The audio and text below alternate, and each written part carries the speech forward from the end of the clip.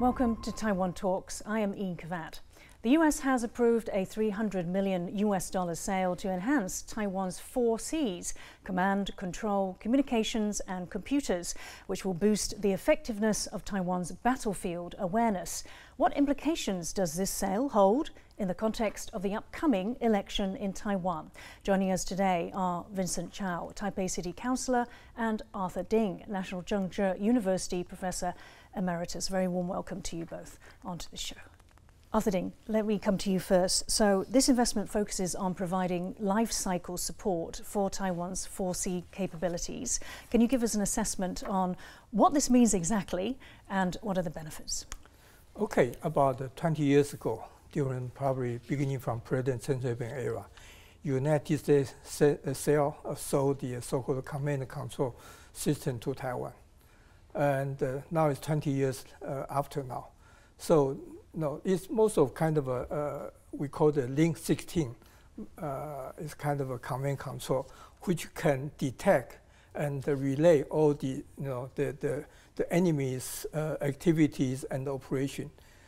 And uh, through these kind of uh, systems, all the tactical uh, units in our militaries, including Air Force, Navy, mm. and the ground force, they can uh, share this kind of information and make the, the, the better uh, decision uh, which uh, units should launch the, the uh, our you know, activities, so on and so forth. Mm. But now it has been 20 years. Mm. So uh, through these 20 years, you know, we know that the, the Beijing, the Chinese People's Liberation Army, they also made a progress, made a modernization for their military force. Mm. So this uh, so-called simplified Link 16 version of the command control system really need to be updated mm. and uh, to be modernized. Mm. So you know, the term life cycle means that you know it's kind of a system which need to be updated and uh, need to be modernized so that you can cope with the most current uh, the problem and the issues so that we can compete and can outcompete mm. the Chi Chinese counterpart. To the la latest possible version, yeah, yeah, because Vincent, I heard that um, the current system doesn't actually recognize the newest weapons Taiwan has, including its indigenous uh, weapons. Is that, it, it doesn't recognize non-US weapons. Yeah, I think, I think, so this is connected to a program we call Xun'an Jihua. So the Xun'an Jihua is the overarching, um, just basically 4Cs uh, communication platform we have here in Taiwan. Now, I think the criticism is where that previously, so Link 16 is an evolution of what we used to call the Link 11 system. The Link 11 system was basically a post World War II system, very, very mm. old, very antiquated. Mm. Uh, obviously, we don't have the 11 system, we have the 16 system, which mm. is updated to NATO standards, I think in the 90s, if I'm not mistaken. Um, and now, obviously, there is a new Link 22 system, which is, I think, is what Professor Ding also alluded to. Now, obviously, I think the ideal would be to have the most recent system here in Taiwan. But as we know, I mean, to be realistic, any FMS, um, foreign military sale Taiwan engages in, has complexities. Hmm. And uh, the complexities are inherent in the link systems because they're essentially NATO based systems. And they're, they're common platforms for NATO countries. Now, Taiwan isn't a member of NATO. And so I'm, I'm, I'm, unclear whether that prevents Taiwan from accessing the newest Link system, mm. or if there are other updates to the Link 16 system in this newest FMS that would bring it on par, or at least similar mm. in terms of capability to the newest system. That's unclear at this point. However, I will say that I have seen the news to su that suggests that there is a serious need of updating in mm. terms of our current communication platforms, and I'm hopeful that this current um, FMS case we have ahead of us, the $300 million, provides support for that. Um, Arthur Ding, um, it's going to arrive by the end of 2023. What we do know um, is that there will be 26 US government contractors, uh, sorry, staff, and 83 contractors uh, available for technical assistance. Um, is there anything else in the detail of this deal that sticks out for you? Well, you know, the, the, the media release does not give us very detailed information on what, what the so-called life cycle support means.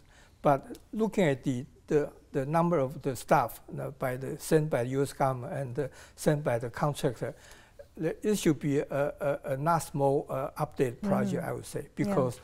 those 83 so-called sent from the contract, defense contractors, they are, I, I guess they are all the technical people. Mm. They know how to do the so-called the software update, so on and so forth. Mm. And uh, you know, this involved the so-called export control. So export control is a, is a job by, done by the government administration mm. uh, sector. So I guess you know that's why you know U.S. government sent another 26 uh, government employee mm. to, to, to work with the 83 so that they can assure the, the, the export control requirement can be met. Mm. and will not, uh, you know, violate the so-called relevant uh, export control law. Yeah. Mm, okay.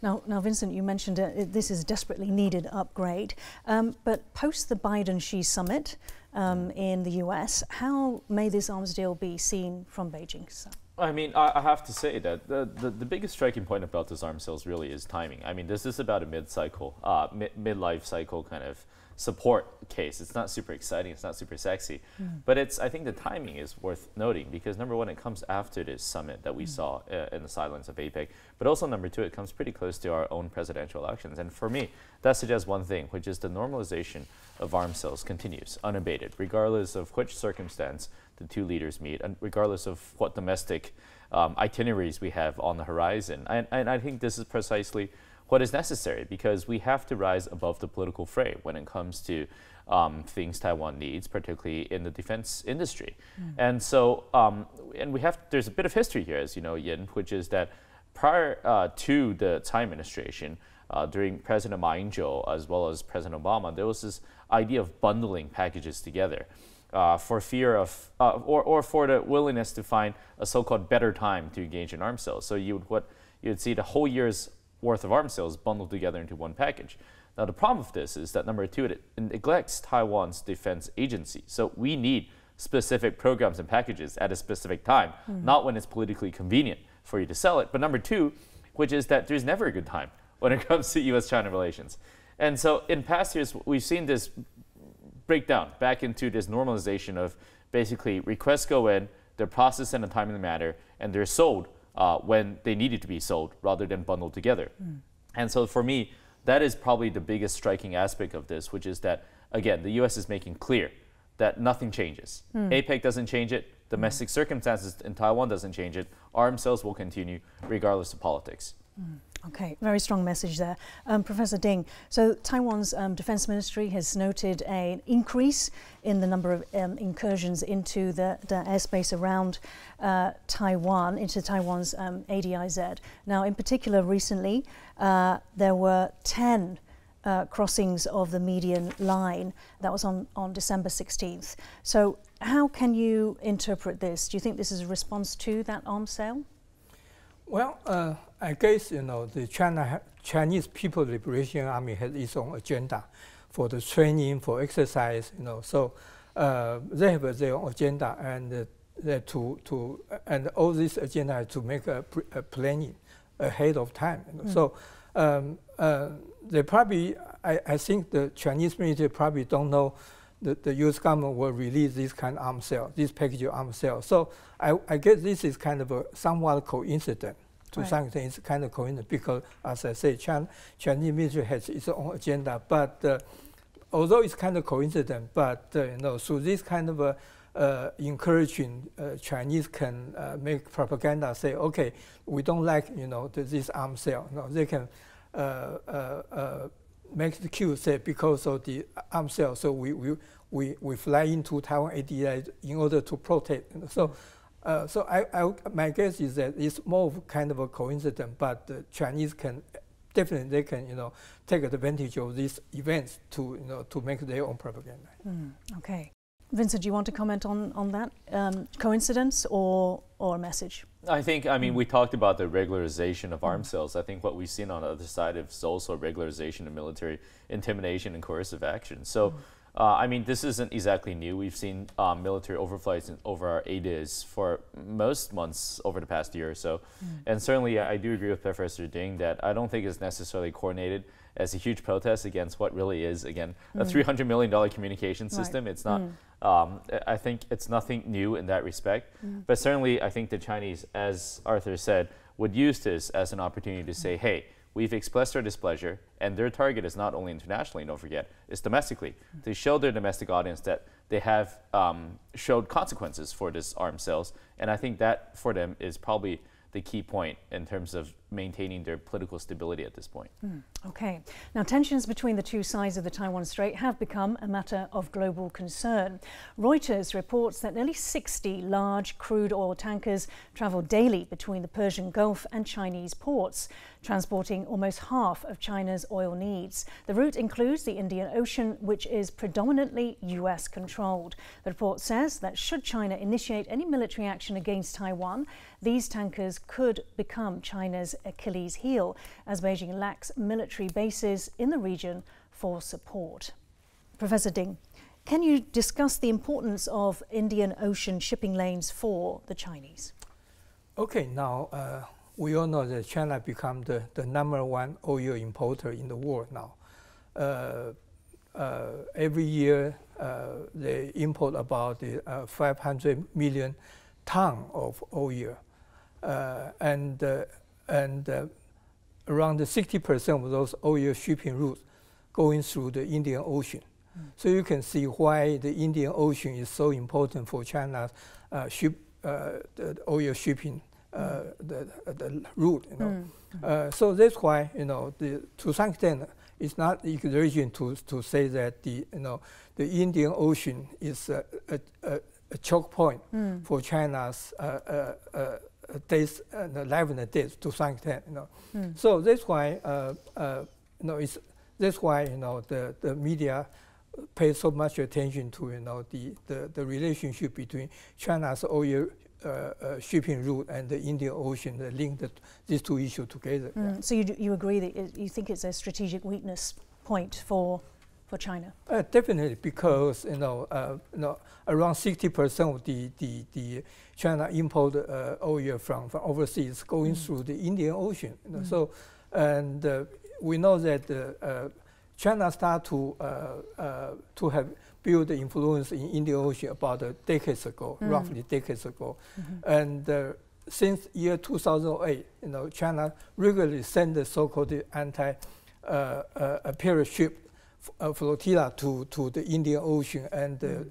so to, to exact the so-called the anti-piracy operation. Mm. Uh, so in, uh, no, uh, although that you know the China still uh, in terms of influence still relatively weak compared to India and the United States.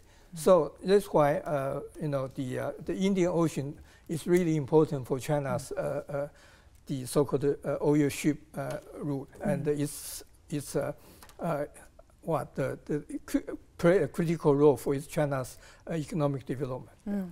Vincent, the Pentagon's October 2023 report on Chinese military activities highlights almost 20 potential Chinese sites globally, which they believe Beijing has already made uh, uh overtures to to those countries. So let's take a look. Here we're showing sites along the Indian Ocean's periphery. They include Kenya, Tanzania, Pakistan, Sri Lanka, Seychelles, Sri Lanka, Myanmar, Thailand, and Indonesia.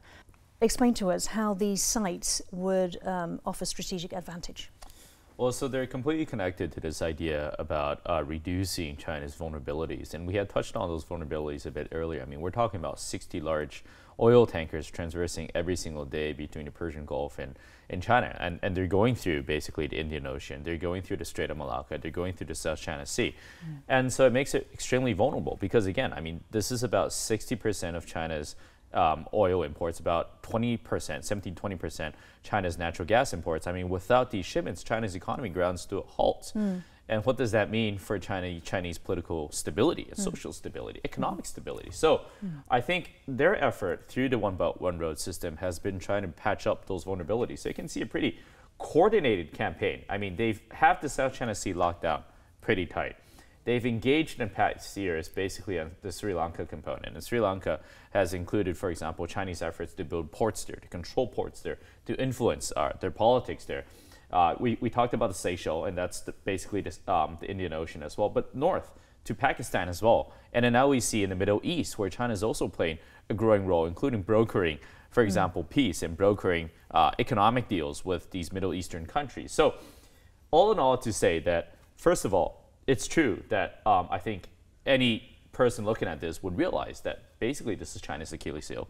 China's economy grounds to a halt. This is enormous leverage mm. that the West can use against China to deter military action over Taiwan Strait. But second, it's also true that China is engaged in all of these efforts to try to, you know, to, to try to patch up these vulnerabilities and ensure that this cannot be used as leverage. And so ultimately, I think it's going to come down to, you know, whose side is going to win. So I think the U.S. has been very smart all, all along, which is, you know, trying to, to, to, to include India mm. in all of these strategic calculations. I mean, mm. renaming PAC fleet to Indo-PAC, to mm. Indo-PACOM, mm. you know, renaming mm. this effort in DOD to bring in India together because India plays a critical role in all of these discussions. Yeah, and, and an inspiration for that, though, we must mention was Abe Shinzo.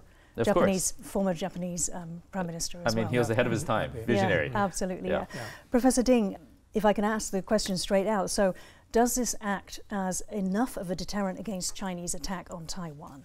You know, is, it, is this what's holding them back? Yeah, uh, I guess, you know, the, the, uh, although we don't like China, but uh, they have 1.3 billion people. You know, there must be some kind of smart people.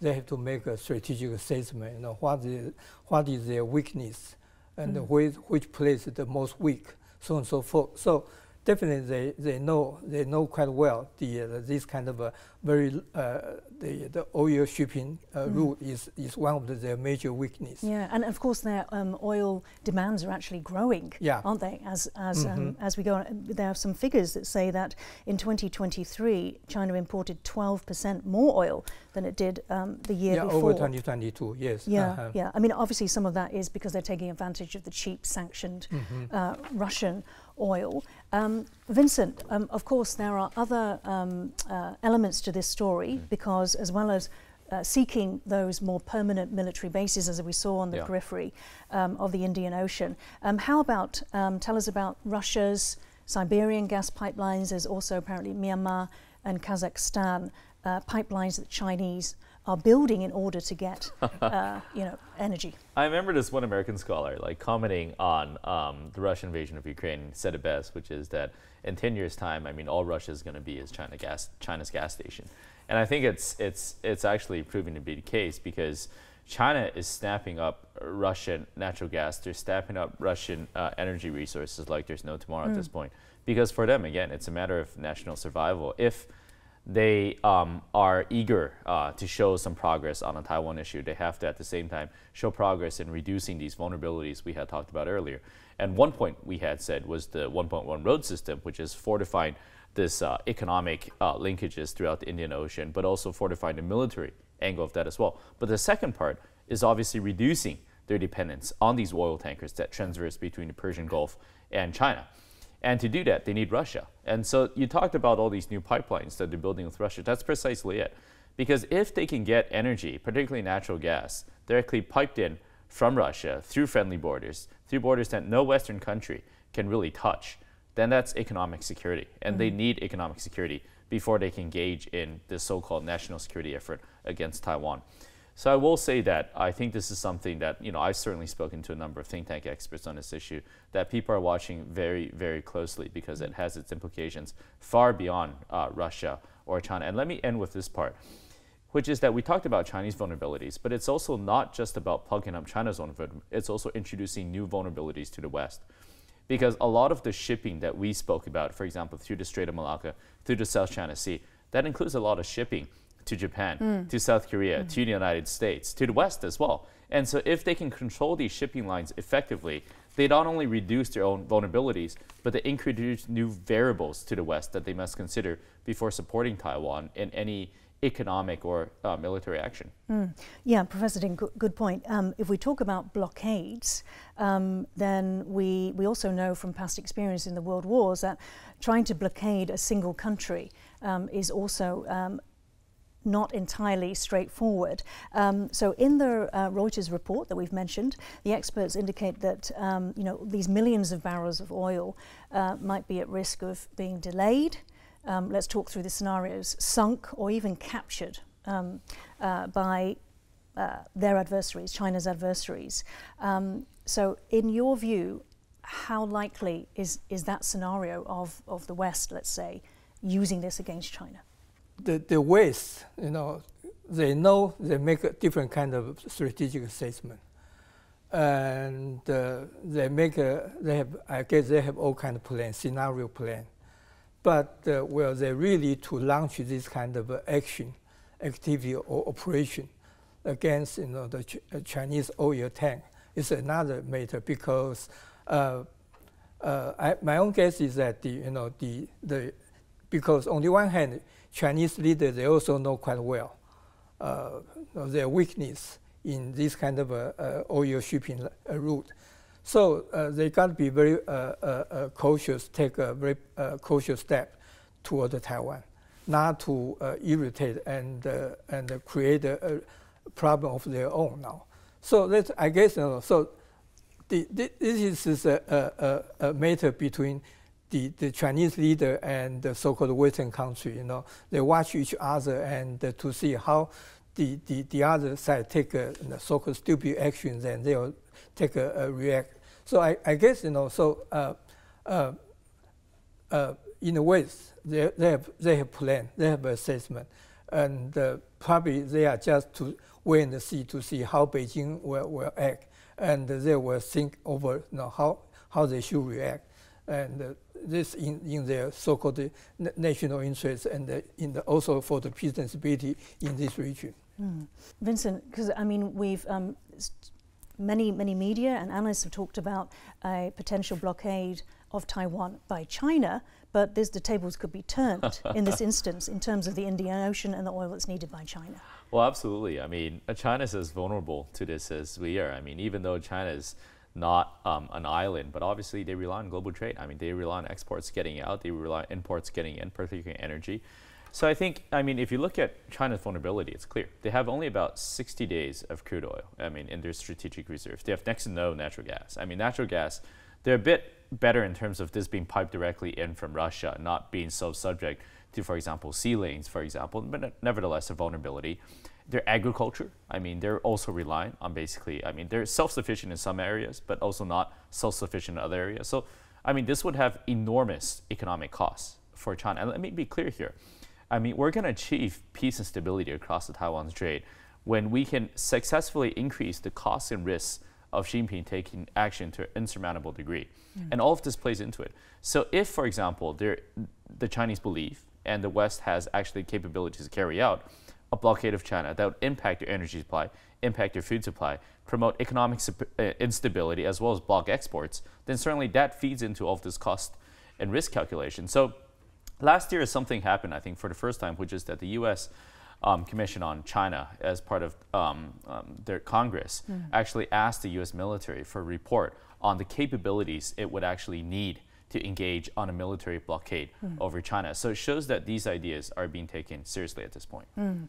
Arthur Ding, fi very final question. Um, so going back to the China side, uh, we, we saw that they're, they're potentially looking at around 10 new sites for, I presume, more permanent or permanent military bases. How long does that sort of thing take to set up? And if they had 10, how does that compare with what the US has? Well, you know, the, the we talk about China's intention to build, to develop and build so-called overseas base, but uh, you know, it will take first it will take tremendous time and money, resources, mm -hmm. and the second is that the you know the uh, uh, on the other hand, we see you know, the U.S. also uh, making tremendous effort to build the so-called uh, alliance and the coalition.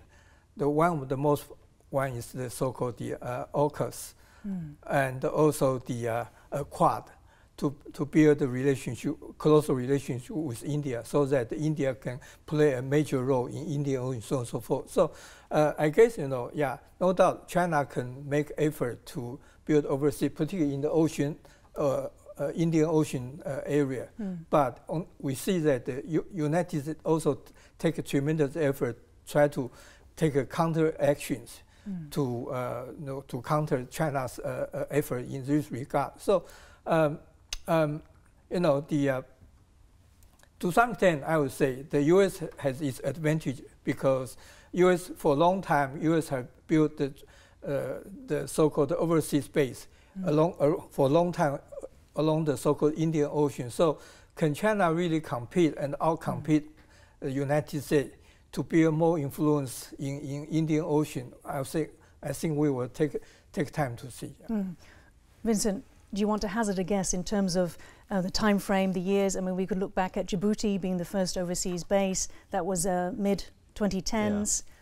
I think uh, are we talking about decades no, or uh, uh, probably more to be honest because I think China is going to really struggle because if you look at Djibouti, if you look at Sri Lanka, I mean, all of this took place in an environment that was very permissive to China doing these things. That where I think democracies around the world weren't on guard for these on these actions, and I think cases, for example, in the Solomon Islands, do show that countries care more and more about what's happening on the One Belt One Road, on Chinese military expansionism, on new military basing, and there's no longer this view that China is benign and that these bases won't have security implications. So we saw the actions that not only United States but Australia took to block this um, naval potential naval base in uh, Honiara uh, in the Solomon Islands. And I foresee that as China expands further in the region, they will face more and more of that concentrated pressure campaign to act against uh, China uh, supporting new military bases around the region. Mm, so increasing resistance for Beijing. Oh yeah. We'll have to wrap it up there. Um, thank you so much, Vincent Chao and Arthur Ding, for joining Talks today. If you liked our show, please search for us on YouTube, give us a thumbs up, and hit subscribe to our channel. Thank you for watching our show today.